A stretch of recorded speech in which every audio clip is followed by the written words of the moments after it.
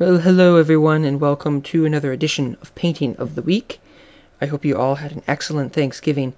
I usually don't do videos um, on holiday weekends, but since I didn't do one last week, I felt like I had to do one this week.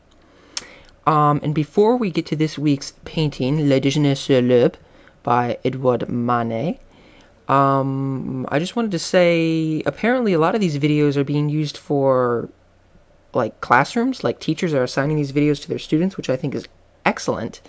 I'm not exactly sure what types of classes these are being used for, but for all you educators out there or students, if you do have any specific requests or like paintings, videos, whatever, it and it doesn't have to be on uh, art, Latin, whatever, um, let me know, and I will make an effort to make a video on that specific topic to help you.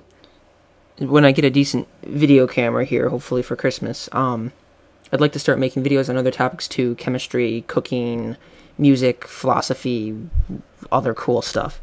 Get excited.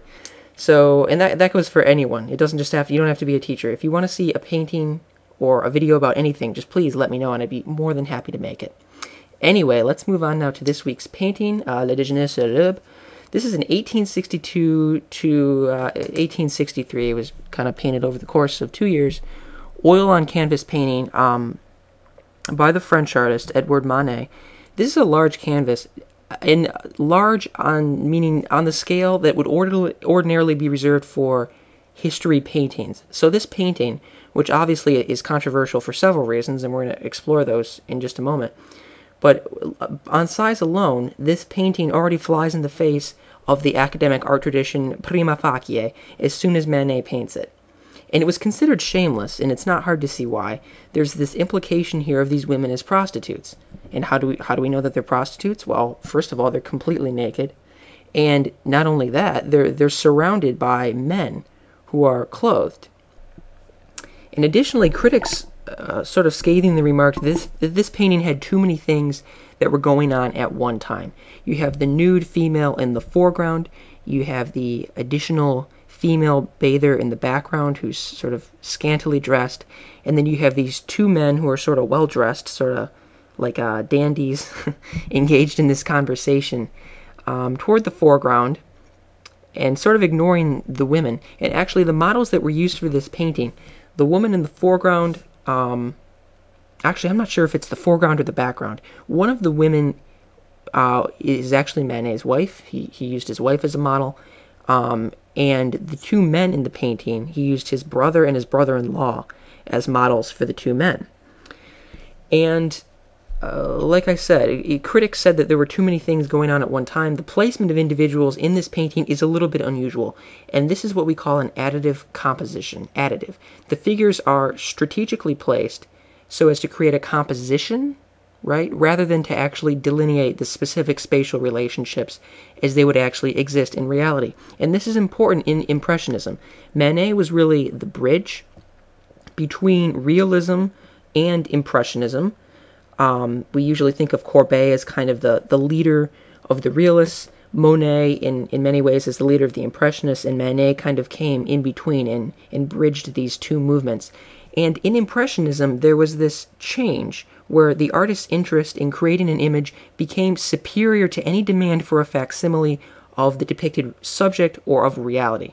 So, this idea of the additive composition is something that's new to Impressionism and something that would become very important throughout Impressionism, where artists aren't really concerned with depicting reality as it appears, like a realist would have done, but in creating an image or a composition. Alright, so now this woman in the front, in the foreground, has this uh, basket of fruit next to her, and the fruit, um, and I guess it's more than just fruit. There's some bread there, sort of spilled all over her clothing, just as her her womanly virtue, we might say, is spilled all over the place by this um, scandalizing and ignominious activity in which she's partaking.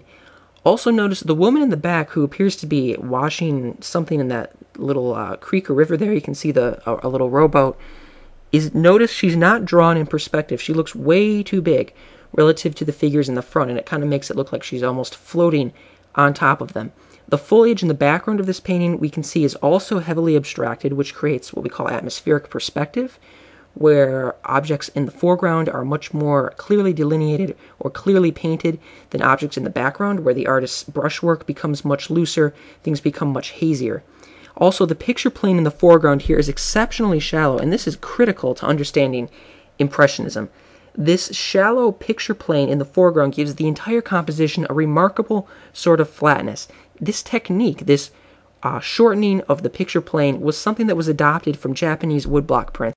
And I know I talk about these Japanese woodblock prints a lot when we're discussing Impressionist paintings because uh, the techniques that were that were traditionally utilized in these woodblock prints were adapted and modified by the Impressionists. And this flatness, like we see in this painting, and really that becomes manifested throughout all of Impressionism, becomes exceptionally important later on, particularly in movements like analytic and synthetic cubism, modernism, and into abstract expressionism, and then even further beyond. So there you go. You can kind of see the beginning stages of this this flatness, um, something that becomes exceptionally important in modern art, um, beginning here in, in the pre-impressionist works of Manet. All right, I've got to go watch a very gaga Thanksgiving, but you all have an excellent rest of the week, and we'll see you here, same time, same place next week.